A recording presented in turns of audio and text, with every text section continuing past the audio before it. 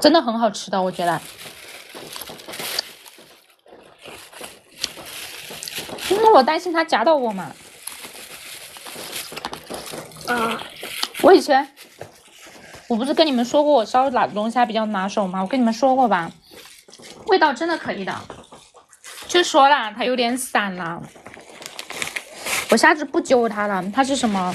我先用干辣椒给它泡发，泡发完了之后呢，我们我们小火放葱、姜、洋葱，呃呃那个什么葱头。嗯，花椒、干辣椒、豆瓣酱，用小火给它煸炒，把红油煸炒出来之后呢，然后把我们用油炸过的龙虾放上去，炒一下，煸炒稍微煸炒个十秒钟左右，然后呢，我们就放啤酒，对不对？放啤酒，大火烧开，然后再调味料，调调味，调完味之后呢，我们可以放一点点冰糖，嗯，冰糖。胡椒粉、生抽、蚝油、老抽，嗯，你在炒炒这个龙虾的时候，可以放一点点白酒进去，可以杀菌嘛，对不对？可以可以。然后给它焖的话，大概就是大火烧开，焖个焖个八分钟到十分钟左右，然后放在小火里面，让它直接把火关掉也行，让它在里面泡个十分钟左右，再大火收一下汁。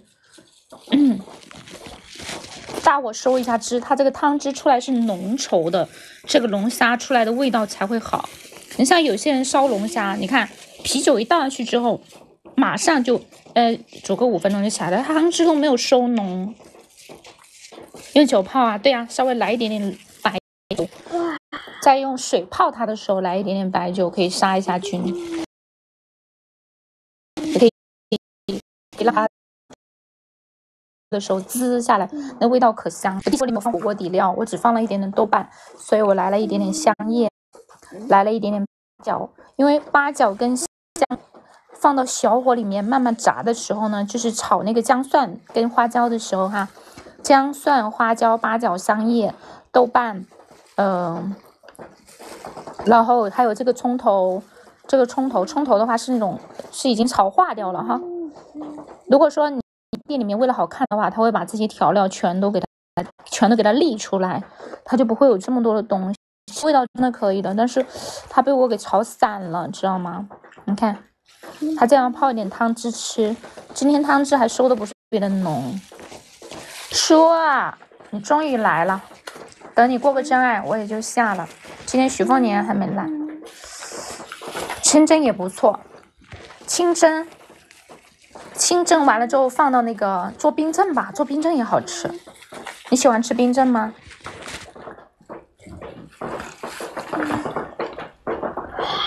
我喜欢吃冰镇，冰镇也好吃，特别鲜甜。它是这种，就是这种麻麻辣辣的，带一点点微甜口的。我里面还放了两个八角，因为我没有放，我没有放任何的火锅底料啊，十三香啊，我都没有放。这个菜它主要就是就是什么呢？就是汤汁要浓，不要清汤寡水的。清汤寡水之后，你这个龙虾它就不入味。然后里面还有黄瓜，垫了一点点黄瓜。喜欢吃热的啊？那那不要冰镇了，冰镇就是比较鲜，比较嫩。嗯，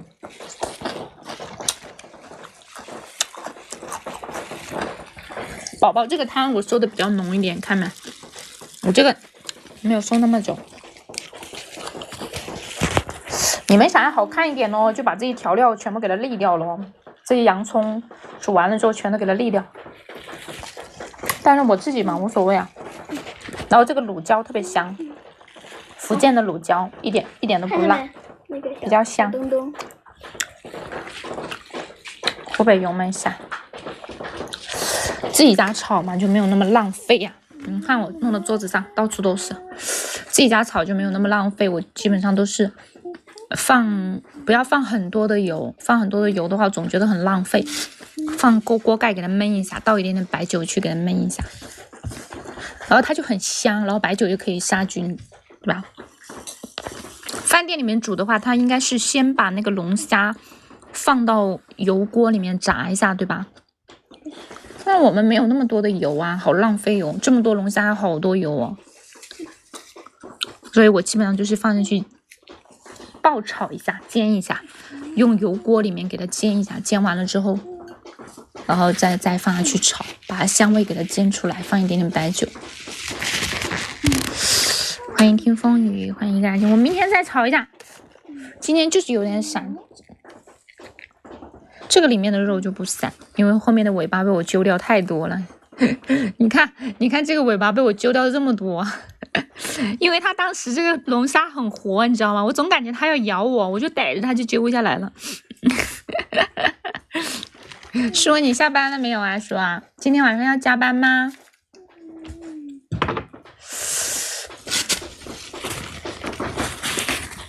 噔噔，草草在播吗？下播了没有啊？他在播哎。在播哎，你刚刚去，你刚刚去去那里了吗？